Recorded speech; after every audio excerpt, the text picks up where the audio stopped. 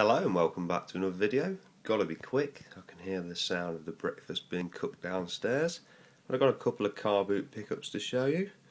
So without further ado, let's commence.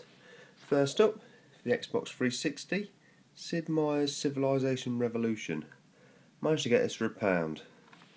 So quite pleased with that. I did play the demo many moons ago. I'm quite a fan of strategy games. Here this one's an absolute classic. So I'm looking forward to giving that a go later on this evening. In pretty decent condition, can't really complain at that price.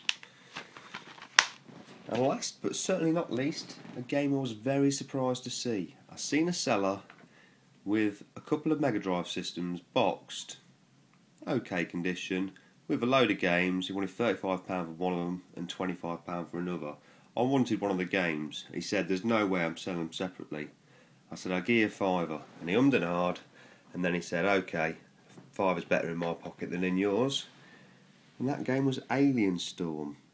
Now, admittedly, you could probably get this for around about that price on eBay.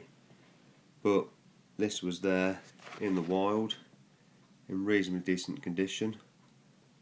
And I've always kind of liked this game. Definitely a big fan of the actual artwork.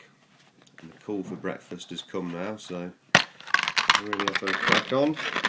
Yeah, it comes with a manual, a little bit dog-eared, and a cartridge. That's a cracking coin-op conversion. So uh, that's it. Just a couple of car boot pickups, but reasonably pleased that I went down there this morning. And another nice Mega Drive edition. So thanks for watching. Hopefully we'll load some more videos soon. So here it is,